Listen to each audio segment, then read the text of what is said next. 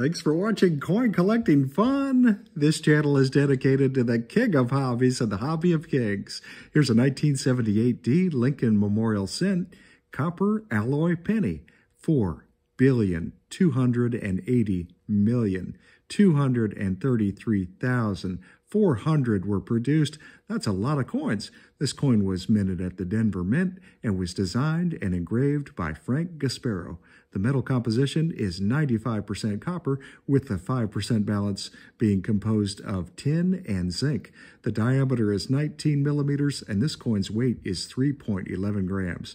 The face value is 1 cent.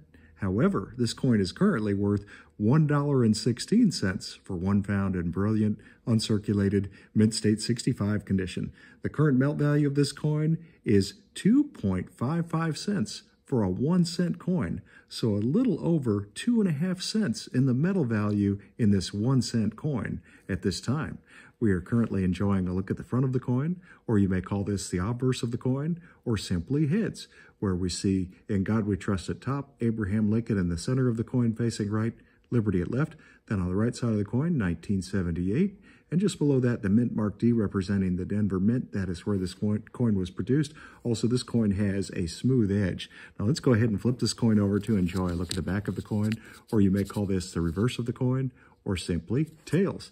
And what a beautifully designed coin this is, both front and back, both obverse and reverse, both heads and tails.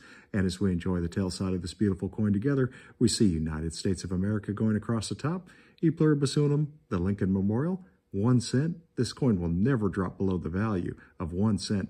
Thank you so much for watching and have a great day.